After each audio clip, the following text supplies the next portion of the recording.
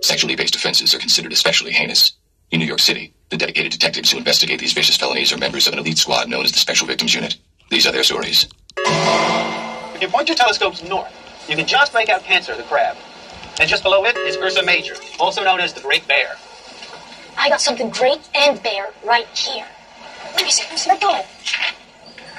I can't see her. And she's right there. You're supposed to be looking at the sky, not spying on people. Whoa. What's the matter? I think she's dead.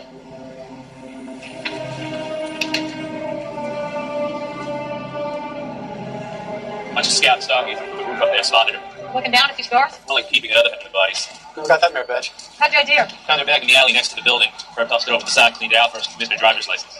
Allison Downey, address in Yonkers. Must be a good one. This is an $800 dress.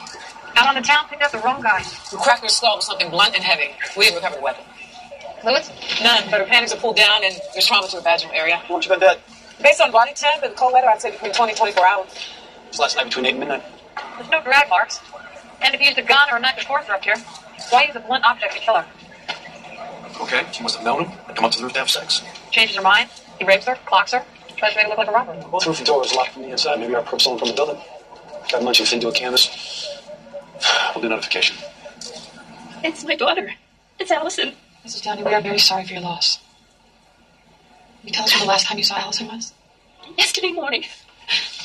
She's been uh, living with us since she graduated college, but she often goes into the city to stay with friends overnight. Did she tell you who they were? I didn't ask. Does she have a boyfriend? Guy she met at school. He lives in Boston. Mrs. Downey, can you tell us how we can get in touch with your husband? Oh God, it's him. I can't tell him. I can't tell him.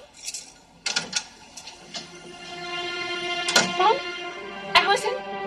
Oh God! Oh God, they said you were dead!